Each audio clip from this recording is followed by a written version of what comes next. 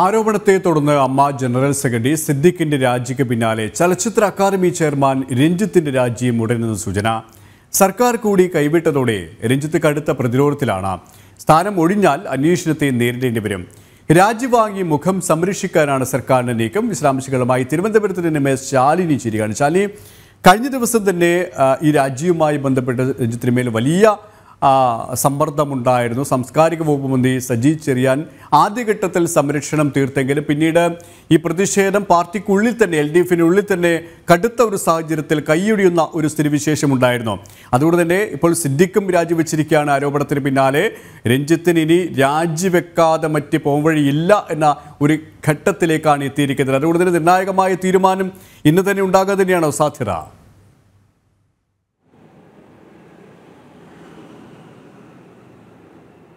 സുരേഷ് അത് തന്നെയാണ് ഏറ്റവും എടുത്തു പറയേണ്ട ഒരു കാര്യം. കാരണം ഇന്ന് രാവിലെയോട് കൂടിയാണ് ആരോപണ വിധേയനായി നിൽക്കുന്ന അല്ലെങ്കിൽ ഒരു മുൻ യുവ നടിയുടെ യുവനടിയുടെ പരാതിയെ തുടർന്ന് ആരോപണത്തെ തുടർന്ന് വെളിപ്പെടുത്തലിനെ തുടർന്ന് അമ്മ ജനറൽ സെക്രട്ടറി സ്ഥാനം രാജിവെച്ചുകൊണ്ട് ഔദ്യോഗികമായ ഒരു ഇമെയിൽ സന്ദേശം മോഹൻലാലിന് ജനറൽ സെക്രട്ടറി ആയിരുന്ന സിദ്ദിഖ് അയച്ചിട്ടുണ്ടായിരുന്നത്. ഇതിന് തൊട്ടു പിന്നാലെയാണ് കൂടുതൽ സമ്മർദ്ദം ഇപ്പോൾ രഞ്ജിത്തിലേക്ക് എത്തുന്നു എന്നുള്ള സൂചനകൾ കൂടി നമുക്ക് വരുന്നത്.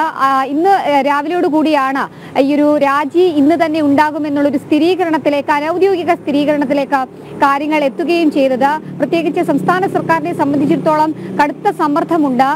രാജി എഴുതി വാങ്ങുക എന്നൊരു രീതിയിലേക്ക് കാര്യങ്ങൾ പോകുന്നു എന്നുള്ളതാണ് നമുക്ക് മനസ്സിലാക്കാൻ സാധിക്കുന്നത്. ഒരുപക്ഷെ ഒരു രാഷ്ട്രീയ പാർട്ടി സംസ്ഥാന സർക്കാരിന്റെ കീഴിൽ ഒരു വകുപ്പിൽ അല്ലെങ്കിൽ ഒരു ചുമതല നൽകിയ ഒരു വ്യക്തിയാണ്. അത്തരത്തിൽ ഉന്നത സ്ഥാനത്തിരിക്കുന്ന ഒരു വ്യക്തിയാണ്. ആ വ്യക്തിക്കെതിരെയാണ് ഒരു ബംഗാളി നടി ഇത്തരത്തിൽ കടുത്ത ലൈംഗിക ആരോപണം നടത്തിയിട്ടുള്ളത്.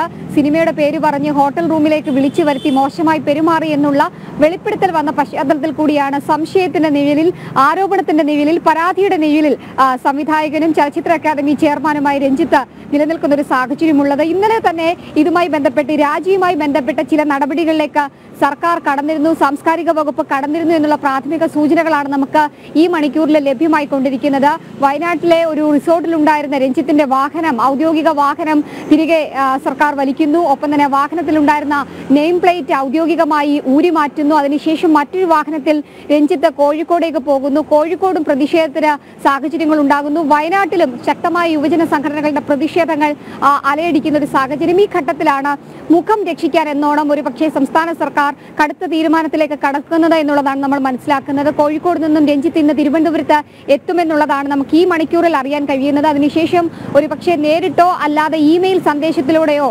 രാജി നൽകും അല്ലെങ്കിൽ രാജി സമർപ്പിക്കും എന്നുള്ള അനൌദ്യോഗിക സൂചനകളിലേക്ക് കൂടിയാണ് കാര്യങ്ങൾ പോകുന്നത്. എന്നാൽ നമുക്ക് നമുക്കൊരു പക്ഷേ ഇപ്പോൾ അറിയാൻ സാധിക്കുന്ന അങ്ങനെ വരികയാണെങ്കിൽ സിനിമാ ലോകത്തെ അല്ലെങ്കിൽ ഏറ്റവും സുപ്രധാനപ്പെട്ട ഒരു സംഘടനയിൽ ആരോപണ വിധേയനായി തുടരുന്ന രഞ്ജിത്ത് ഔദ്യോഗികമായി രാജി പ്രഖ്യാപിക്കും അല്ലെങ്കിൽ രാജി നൽകും എന്നുള്ളൊരു സൂചനകൾ കൂടി വരും മണിക്കൂറിലേക്ക് നമുക്ക് നൽകാനായിട്ടുണ്ട്. അത് ഇന്ന് നൽകുമോ അതോ നാളെയിലേക്ക് മാറുമോ എന്നുള്ള ഒരു അഭ്യൂഹം മാത്രമാണ് നിലനിൽക്കുന്നത്. എന്തായാലും സാംസ്കാരിക വകുപ്പ് അതുമായി ബന്ധപ്പെട്ട നടപടികൾ ആരംഭിച്ചു. കടുത്ത സമ്മർദ്ദം മുഖ്യമന്ത്രിക്കും ഉണ്ട് എന്നുള്ളതാണ് നമ്മൾ മനസ്സിലാക്കുന്നത്. കാരണം ഇടതുപക്ഷത്തിനുള്ളിൽ നിന്ന് തന്നെ വലിയ രീതിയിലുള്ള ഭിന്നത ഈ വിഷയത്തിൽ ഉണ്ടായിട്ടുണ്ട്.